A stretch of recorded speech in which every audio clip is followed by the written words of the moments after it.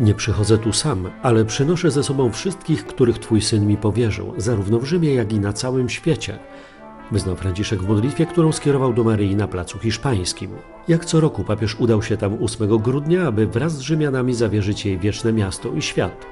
W obecności kardynała wikariusza Agostino Vallino i burmistrz Virginii Raggi, Franciszek modlił się za dzieci porzucone i wyzyskiwane, za rodziny i pracowników, którzy z konieczności podejmują się pracy poniżającej oraz za tych, którzy pracę stracili. Abbiamo bisogno del tuo sguardo immacolato per ritrovare la capacità Potrzebujemy Twego niepokalanego spojrzenia, abyśmy i my mogli ponownie patrzeć na ludzi i rzeczy z szacunkiem i uznaniem, bez egoizmu i hipokryzji.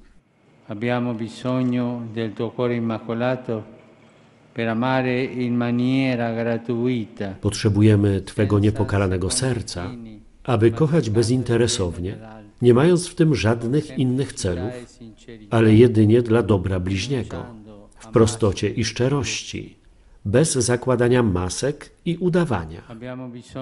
Potrzebujemy Twych niepokalanych dłoni, aby okazać czułość, aby dotykać ciała Jezusa w ubogich, chorych i pogardzanych braciach.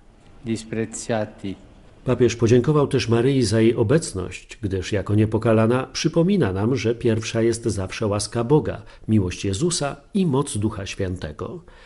Daj, byśmy nie ulegali zniechęceniu, lecz ufali w Twą stałą pomoc, powiedział Franciszek przed figurą Matki Bożej na Placu Hiszpańskim w Rzymie.